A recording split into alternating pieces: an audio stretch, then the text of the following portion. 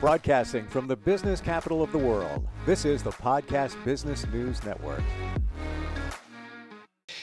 If there's anybody listening right now that disagrees with me, I want to hear it. And here's here's my statement. We all have to heal from something. There's something going on from our past, maybe our childhood, that prevents us from moving forward in our life now. And if you say to that, ah, that's not true, I'll bet you're wrong. You probably don't realize that something's going on there. And maybe you don't realize why am I not finding the right relationships? Why am I not moving my life forward? Well, we're going to talk about that today and also the energy healing surrounding it. And we've got somebody who has an amazing psychotherapy practice called Center Point. It's integrative health and counseling center. It's in Huntington, New York, but she works with people all over the world. And she's back with us. Dr. Irene Siegel is on the program. Welcome. How are you? I'm fine. Thank you. Thank you for having me, Steve. It's great to have you here. And I'm a big proponent. Yes, modern medicine, pharmaceuticals, they all have a place in this world. You know, mm-hmm. take them when you need them, but do you really actually need them? Maybe maybe you need some counseling and can kind of navigate the whole life thing. Um, what do you hear now, Irene, from patients? What are mostly people are going through? Is it anxiety, um, feeling that they're not good enough, maybe depression? Well, I'm a trauma expert. I'm an EMDR consultant. So people come to me specifically for EMDR. But a lot of people are being re traumatized from early trauma just because of the collective trauma we've been experiencing in our world between going through a period of pandemic, financial upheaval, political upheaval, social, racial upheaval. People are having difficulty coping in the world. So there is a lot of anxiety. And the anxiety could always be tracked back to a source, whether it's something current or whether what's happening now is a trigger for an earlier trauma. So, a lot mm-hmm. of people are coming into therapy these days because they're having trouble coping with what's happening in our world. Do you feel that COVID was the big shakeup?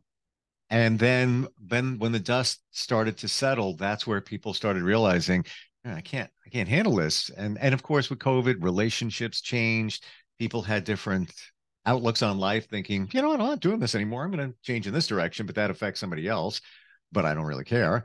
Um, yeah, all of that. Do you think it was because of that? Well, the, co- some people were having trouble coping with COVID only because they were more socially isolated other people that have actually had COVID still may be suffering from symptoms of long term COVID. Mm. And I have found that people come into therapy because they can't handle the emotional aspects of long term COVID. It triggers deeper fear in them, it triggers early childhood trauma. And those that end up in my office because they have symptoms of long COVID always can be tracked back to earlier feelings of insecurity mm. and unsureness within themselves. I guess where I'm going there is that stuff was always there. And then COVID kind of it was under the rug and then covid's the wind that blew the rug over and then all this stuff came to surface because it was hiding underneath there for a while that's exactly what happened that's exactly mm. what happened and some people have been traumatized by covid itself sure you know there are current traumas but yeah when someone has had multiple trauma it just um, exacerbates their mental health system you know systems and and their symptoms. When you say uh, emdr uh, explain that please well, EMDR stands for eye movement desensitization and reprocessing. It's an eight phase brain based protocol specifically developed for the healing of trauma. And what we do is we get to the root of the trauma. We use bilateral stimulation. It could be either eye movement or it could be music. I personally like music because my clients can wear headphones. Music goes from ear to ear. I can do this even over Zoom, you know, remotely. And when we integrate the bilateral stimulation with an eight phase protocol, we're actually accessing the stored memory of trauma that has been stored in the back of the brain, and we bring it into the frontal lobe where it can now be reprocessed. And people can get through trauma fairly quickly with that process. I've been doing EMDR for a long time, and believe me, I've been a therapist for a really long time. But when I took the EMDR training, which was, I believe it was in 1996, I never looked back. And then I have found my own way to create a more integrative approach with energy and mindfulness and resonance. Hmm. So EMDR in itself fantastic, but then you Yes. you you back it up with even more in terms of energy. Yes, healing that way. absolutely. Hmm. Absolutely. Can you do EMDR remotely? I've been doing it, I mean, since the Okay. pandemic. And many therapists said, How can we do this remotely? And you know what? We made it work, and it really does work. Wow. So I still work remotely with people because there's a lot of people that either live too far from my office to come in or they want their session in the middle of their workday and they don't have the time to come in. And it's been very effective. Surprisingly, to all of us EMDR therapists, it's been extremely effective. Wow.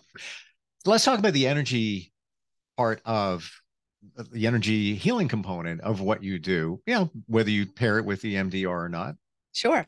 And and yes, you don't have to be an EMDR therapist to integrate this. But I'll tell you a little bit about my background and how I got to this place. When I was even when I was a kid, I was a meditator. You know, people will ask me, when did you start meditating? And I'll say, when I came out of the womb. You know, basically, I was in that meditative space. And then as I got older in my 20s, I started studying with teachers that guided me to South America. I worked with with master healers of Incan descent. I've worked with other teachers in North America, and I learned their ways of healing, which is all about energy. I definitely believe in a mind body spiritual approach, but that body part isn't just about physical body, it's about the energy bodies that surround the physical bodies. And I have learned and become very sensitive to picking up on what's held in the shared field. So, what I do in my therapy sessions and what I actually teach other therapists to do is to be aware of getting into a quiet, mindful state themselves and with the client so that they could perceive the flow of energy in the shared field. And if a therapist has been meditating for a long time, it's a little bit easier. If not, they can practice and they can learn this. So when a client comes in to see me, I use the standard EMDR protocol. But what I love about the protocol is that there's a lot of silent space in that protocol while clients are processing trauma. So we identify the trauma, we identify the negative beliefs that they've held about themselves as a result of the trauma, such as I'm helpless, I'm powerless, I'm not lovable, I'm not good enough, whatever it might be. And we go into silent processing space with the bilateral stimulation. It's in those silent spaces that I teach my clients to be comfortable with those spaces, to let their imagination go, and I sink into those spaces with them. Now, since I've been a meditator for a long time, I teach meditation. I know healing techniques in the energy medicine world. I can sense a flow of energy between myself and the client. And with Mhm. that, as I hold myself stable in that, the client learns to do the same. Their imagination takes off and healing skyrock- skyrockets. And what happens is the client starts to sense even what's happening in the shared field. And they might say something about it. And I just tell them to go with it and to just expand their awareness. So they can actually go from negative beliefs, I'm not good enough, I'm not lovable, to an awakening of spiritual consciousness that happens within the therapy session. And I think I mentioned this last in the last podcast with Jill that my clients might come in with a negative feeling of I'm not lovable. They realize they're lovable. Then they'll say to me, I am light. They'll say, I am. And they perceive themselves as their own energy body.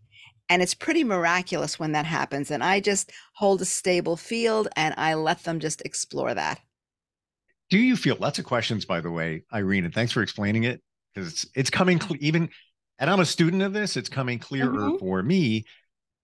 Do you feel that when you start a session with somebody, we all have these walls up? You know, it just maybe we'll give up a little bit. Do you feel that you're able to kind of lower the? I call it I call it the window, like in a car. Get the window up, maybe comes down Uh-huh. a little bit. You little little somebody in. Or your your personal feelings out. Do you feel that when you're in a session with somebody, they kind of bring the window down and you're able to have that dialogue, meaning that you're able to kind of touch a little deeper into what's going on so you can help them figure out what has happened in their lives? Well, that's why they're coming to me. Hmm. So I try to make them feel as comfortable as I can. I create a comfortable, safe space in the session itself. And I ask questions about their history, about their trauma history. And when you ask a question about it, it gives them permission to then talk about it. And when they talk about it and they see that I'm not judging them, I'm not shocked by what they're saying, then they feel a sense of relief that they can talk about it. And then their defenses start to come down. You mentioned I am before, Mhm. and just starting to learn about those two words and how powerful and empowering it is. Can you explain that a little bit? Well, when my clients say it to me, I want them to explain it based on their own experience. Okay. Okay. And what they explain, and it does parallel some of the spiritual teachings, but when you read about spiritual teachings, you get a really, um, the I am experience in terms of spiritual teachings is really about beyond soul connection, just being one with spirit, you know, being, being separate from your identity in the everyday world and recognizing that your identity really is your connection to spirit. When a Mhm. client says it to me, they may not mean it exactly in that way. It could just mean for them that all of a sudden they perceive themselves as as light as energy in a flow and they're just focused in that moment. And it's a tremendously healing experience and they start to awaken consciousness. They start to realize themselves beyond the physical world, beyond the identity of their personality. So so the I am in spiritual teachings is a much broader perspective. But with my clients, however they mean it is fine. Whatever that experience is for them is fine. And I will talk to them about it. And it really means for them that all of a sudden they're just present in they're just present. They're present in that moment and they're not attached to ego or outcome and they are just there. Do you feel when they get to that that point that all of this stuff out here that that bothers us just goes away? It's almost as if I got this. I can navigate this now. I personally call it my quiet calm. Like I used to worry about things. You have no idea. Completely flip that Mhm. around to the point where it's like, yeah, something happens, used to throw me. And I'm talking like even three years ago. Now it's like, eh, we're good. We'll get paid. We'll figure it out. You know, I guess it's maybe confidence, faith, or whatever, but it's like the quiet calm. Would you say they they they explain it kind of the same way where I call it live in the moment, but it's just like, I'm good now. I got this. Well, it's not even that they have to explain it to me. They just start changing. Uh, that's that's totally what I mean as well. Yeah, yeah. And and they're able to see because EMDR is very measurable, I'm able to point out to them how much they've changed and Mm. how much they have reprocessed their trauma and they are responding differently in their world. So somebody can't heal and even awaken without changing their perspective of how they see themselves in their world and how they perceive their world.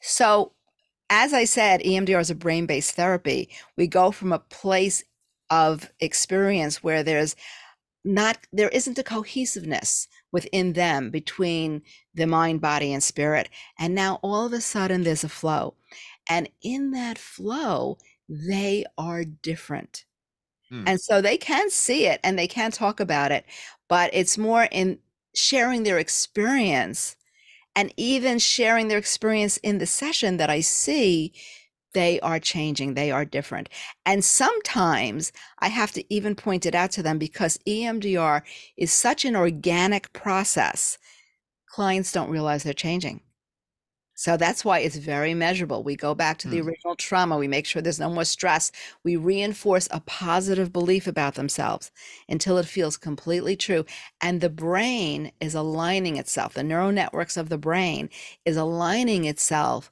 with the positive perceptions and neutralizing the negative triggers. with your experience, lots of years in in all of this, do you find you're at the point now where when you meet somebody that that comes to you for help, that you already pick up on their energy? You're already kind of you're kind of a few steps ahead just because you're able to read the energy? As soon as they walk in the door, as soon as they call me on the phone. You know, mm. yes, I mean, I've been doing it a long time. Not only have I been a therapist a long time, I've probably been teaching meditation and healing for as long as I've been a therapist.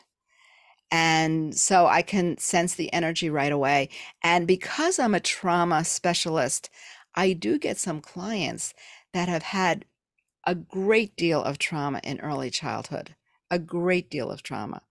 And so as we work on healing that for them, their energy just changes. They start to connect more to their body, to their emotion. There's Mm. more of a flow. They relax. They relax. So it's it's not hard to sense that. And I teach other therapists how to sense this on an energy level. So it's not just intuition, although that's part of it. Mhm. It's really kind of sensing the energy in the field. Yeah, it's for anybody that is listening, watching, and hearing what we're saying and thinking, these two people are kooky. what are they talking about? Well, consider this. You ever go to a party, you walk in and you say to yourself, wow, it's kind of feel feels good. I'm gonna hang for a while. It's good. Like nice mix, mix of people, as opposed to walking into a party and everybody's got a face. It just seems like, I don't know, the air is thick. I think I'm gonna give an excuse and get out of here. It's because the energy of the people in there collectively is very low, low Mhm. vibration, and that's why it doesn't feel right. That's Well, that's re- it. That's right? it. And you know, in ancient wisdom traditions, they say that everything is energy. Yeah. Everything. Oh, this piece And- of paper is energy. We're Everything. we're all different energy, but yeah, everything is energy. Yeah. Yeah. And if you could sense the energy, then you could shift something in yourself so that you don't start to resonate with a lower frequency. You want to stay in a centered place so that so you're resonating with what I call spiritual resonance, the consciousness higher consciousness of spiritual connection or cosmic connection even in the midst of someone that has a lower energy. So, as a therapist, if I was going to resonate with every client that walked into a session with me, I'd be exhausted by the end of the day. But I stay in my own energy and I can just be there and be present with the client. And they start to lift their frequency as we do the work together. Hmm. When you talk about meditation, I know lots of us struggle with it, and sometimes we overthink it, like thinking that, hmm, I got to get in a Zen moment here, and I get it. Meditation could be walking your dog and just thinking about one thing, right? Well, that's that is more of mindfulness. You know, you would call that mindfulness, being present in the moment. And mindfulness ori- originally came from Buddhism. Um, we use it here in the United States really to just reflect being present in the moment. And that can be really healthy for people. It's it's not Mm. even a structured meditation. It's just being quiet and present in the moment. But even if someone wants to formally meditate, there's a variety of different kinds of meditation Sure. And they need to find what's right for them. That was my aha moment, Irene. Uh, my journey, this current change here, about three years ago, and I met somebody that said, "Why don't you ever live in the moment?" And this was somebody that you know we'd have fun together, and and I'm like, "What are you talking about?" And I had to process it for a couple of days, and then I got it. It's like, yeah, because I'm always thinking about the past, or I'm thinking about the future, and you know, what's the future? Can be a little anxiety, like what I wonder if what's going to happen, or the past, or you know, can be depressing or whatever. Um, then I got like, oh, just live now, because this is the most important thing here, because you can't do anything about then, and later might not even show up in this in the way you're thinking about it. What's even the point? And if you can stay in the moment, fear does not exist in the moment. Exactly. Fear only exists when you ruminate about the past or you're fearful of the future. If you're in the moment, fear doesn't exist. Yeah. It easier said than done to get there. I get that. Easier said than done. And you could do it through different venues. You could do it through a psychotherapy process. You could do it through working with a meditation teacher. I'm going to give you a really quick example. Sure. In one of my trips to South America, I was with a group. Um, my teacher was Alberto Villoldo, and he was having us work with his teachers in South America. And I, we were flying from from Lima to Cusco on a really small plane. And Cusco is very high in altitude with a short runway.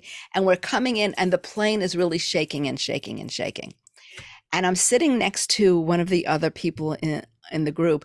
He's very serious. And I and I looked at him and very glibly I said, Wouldn't it be ironic if we come here, we're coming here to face our death, to not fear death? Wouldn't it be ironic if we die? And he just turned at me and he said, Are you afraid to die? And I said, and I realized I was so in the moment that I said, No, I'm not afraid to die. And if it's meant for me to die today, so be it. Because I was just in the moment doing Mhm. exactly what I needed to do in that moment. And that was my spiritual path.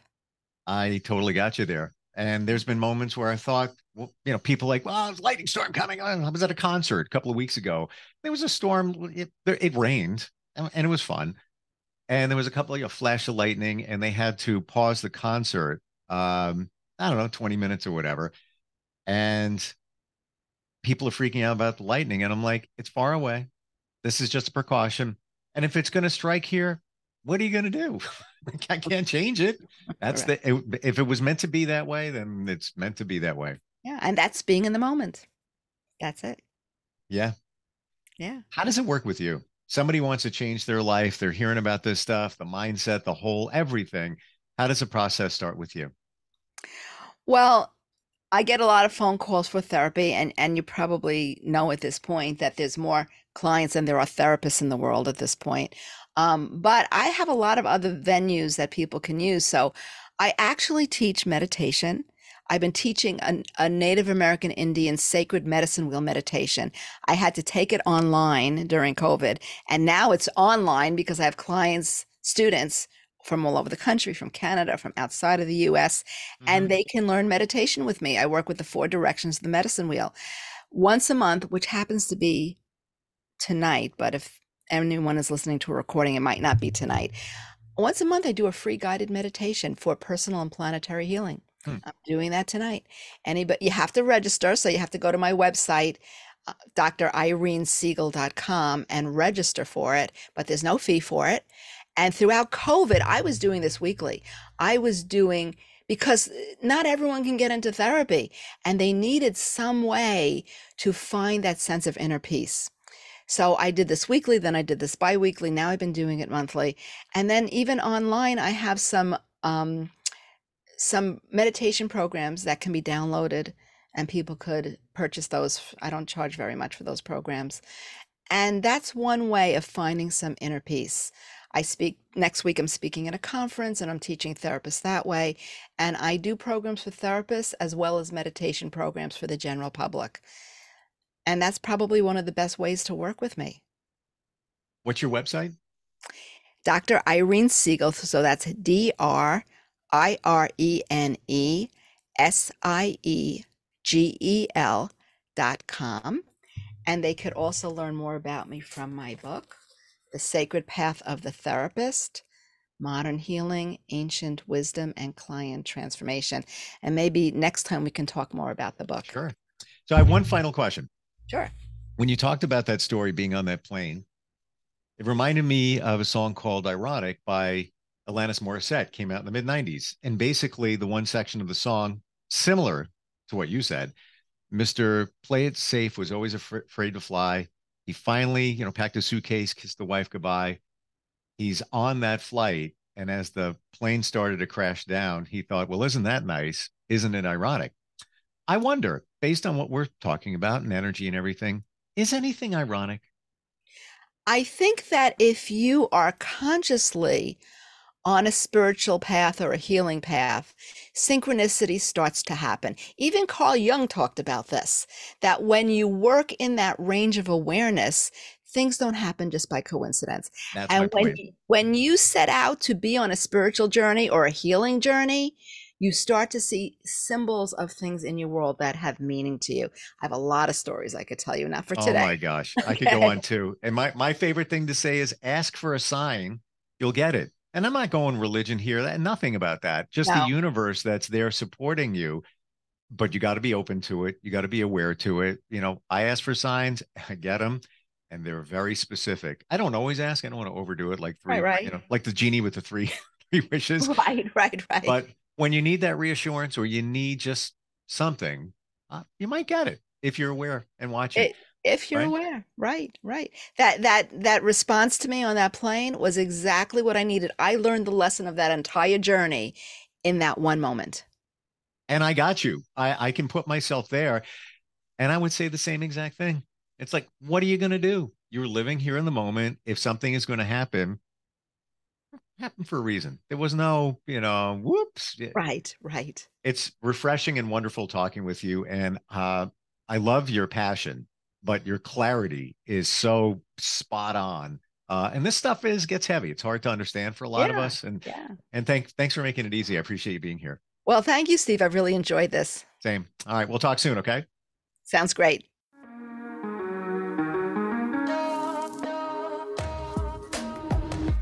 Broadcasting from the business capital of the world, this is the Podcast Business News Network.